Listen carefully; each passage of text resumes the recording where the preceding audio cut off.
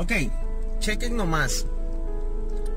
He estado analizando un poco la situación de esas personas que crean conflicto dentro de una organización o dentro de tu trabajo, de tu familia, de tu hogar, de tu grupo, ya sea religioso o cualquier tipo de grupo.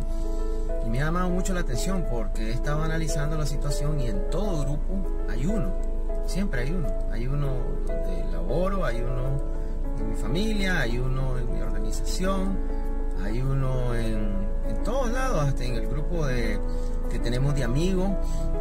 Hay una persona que es como complicadita, ¿no? Y entonces me estaba dando cuenta de esa persona. Que esa persona antes era yo. Pero ya mejoré, ya mejoré. Me di cuenta que era yo esa persona conflictiva, ya mejoré.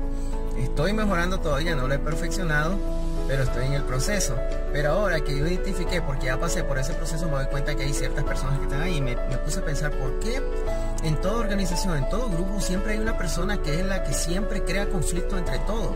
Es la que se pelea con todo el mundo, pero nadie está dispuesto a decirle las cosas. Entonces me puse a pensar sobre esto y dije ok, ¿por qué está esta persona aquí?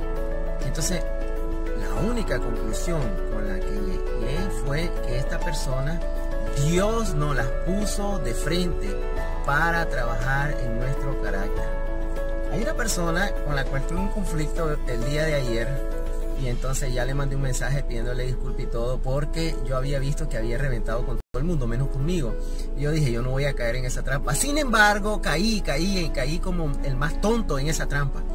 Pero ya vine y pues discutimos ahí con, con la persona, discutimos por teléfono y ya pues hoy en la mañana le mandé un mensaje de disculpa por haberme pues alterado un poco con él, me sacó de mis casillas, pero realmente ese era el plan de él, él no lo sabe, simplemente es la manera funcional de él, como él está programado para trabajar.